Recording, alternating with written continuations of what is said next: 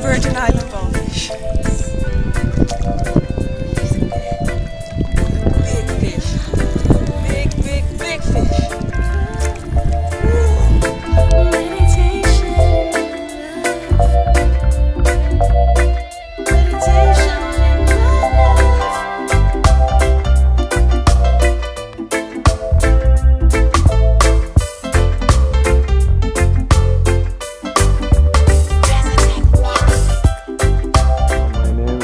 Know me as Dr. Daniel.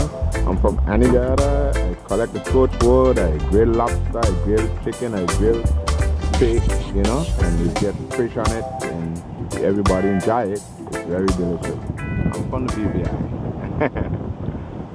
Alright, yeah.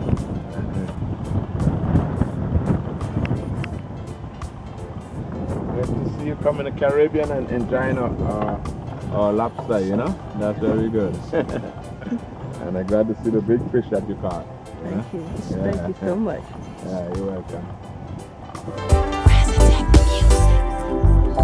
We go. Yeah, so Now, we cut off this? the spoon. This is a spoon for the coconut. Okay. See how you know if you're out in in in the forest and you don't have a spoon home, you see work better than a spoon that you have in your house. See that? You just carve it wrong, and oh, that's it. wow. It's out. you see? But I just leave it there, you know. Wow. Yeah, so you can always work with that, you know. Yeah, and do so the other half, you know. Thank you. That is our handmade spoon. You're right. She's very good and advertising. Thank you. Yeah, you're good. Let me cut the next one, you know?